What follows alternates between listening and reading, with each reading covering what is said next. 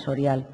En el decreto foral, el decreto foral 36-2014, en su artículo 7, en el punto 1, hace referencia a la definición que acabo de exponer, pasando el punto 2 del mismo artículo a referenciar las situaciones no permanentes o situaciones transitorias y detalla una serie de situaciones entre las que está el plazo de seis meses en caso de intervención quirúrgica, pero hay otras situaciones en las que no se establecen plazos, sino circunstancias, como por ejemplo no se realizarán valoraciones estando hospitalizado o personas en tratamiento.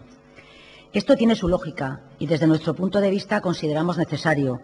Antes lo ha dicho la señora Morales, no es lo mismo valorar después de una operación de cadera que transcurridos seis meses, con lo cual todo tiene que tener un proceso y en este sentido creemos que está correcto ese plazo de los seis meses. Pero también en el mismo artículo hay un tercer punto en el que indica plazos inferiores a los seis meses, como son dos meses cuando las edades son entre 80 y más años y un plazo de tres meses entre 65 y 79 años. Y además hay un cuarto punto en el que se señala la posibilidad de situaciones de excepcionalidad cuando los informes médicos ya indiquen la no recuperación.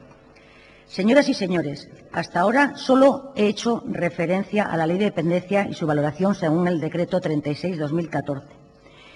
En el capítulo 2 del decreto, que comienza con el artículo 14, hace referencia al procedimiento para el reconocimiento, la declaración y la calificación del grado de discapacidad, que ha, sido punto central de este debate hoy. Pero, señoras y señores procuradores, en el decreto no he encontrado en todo el texto punto alguno que hable del plazo que una persona tiene que esperar para ser valorada por discapacidad. No hay plazo. Tal y como está el decreto, cualquier ciudadano puede solicitar la discapacidad en el momento que lo crea oportuno, sin tener que esperar un periodo de tiempo determinado. En la presentación de esta moción ya se comienza mezclando los términos, dependencia y discapacidad.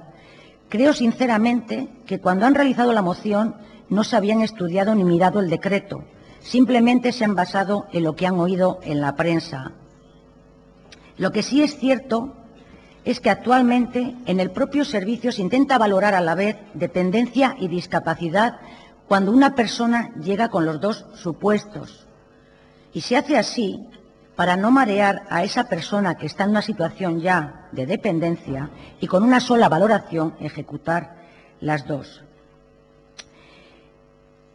En el decreto, además, indica que en un periodo de dos meses y medio, según su artículo 12, debe resolverse la dependencia. Y sobre la resolución de la discapacidad, es el artículo 22, la fecha es de tres meses desde que se solicita. Entendemos que un plazo razonable si éste se cumple. En medio puede haber alargamientos de plazo por falta de documentación, por necesidad de nuevos informes, etcétera, etcétera. Pero todo viene regulado en el decreto. Creo que es una moción en la que se mezclan cosas, no es clara. Mezcla el decreto 36-2014, que es de valoración, con el decreto 39-2014, que es el de la prestación económicas para cuidados en el entorno familiar y apoyos a cuidadores no profesionales, la prestación económica de asistencia personal y la prestación económica vinculada al servicio. Señor Salgado, me extraña que no haya metido también el Real, o sea, perdón, el Decreto Foral 50-2016 que modifica también el 36-2014, que regula también la dependencia de los menores. Con respecto a las enmiendas, Señor Carrera, encuentro bastante desaciertos en ella. En lo que respecta a la dependencia, dos meses es poco tiempo para, valorar una intervención o después de un tratamiento grave, salvo en casos puntuales. Con respecto a la discapacidad, no me vuelvo a pronunciar porque no hay trámite, no hay plazo. En lo que se, en lo que se refiere usted a las valoraciones de discapacidad He de decirle que no siempre son definitivas y que ya se están realizando valoraciones temporales y se hace seguimiento de la persona que no tiene una discapacidad definitiva.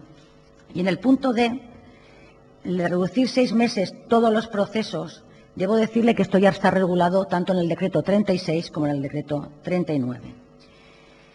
En lo que respecta a la enmienda del Partido Popular, me ha sorprendido, pero me ha sorprendido por lo siguiente. Como usted ha dicho, señora Morales, la legislatura pasada se hicieron estos decretos Yo creo que son decretos que están bastante bien regulados, desde mi punto, desde el punto de vista de mi grupo está bastante bien regulado todo, pero me sorprende que ustedes en su enmienda hayan puesto propuesta de modificación de los criterios para el reconocimiento de la discapacidad, que incorpore situaciones excepcionales. Es que tal como está la discapacidad no hace falta incorporar. Yo entiendo que es más la dependencia que la discapacidad, porque tal como está la discapacidad no es necesario.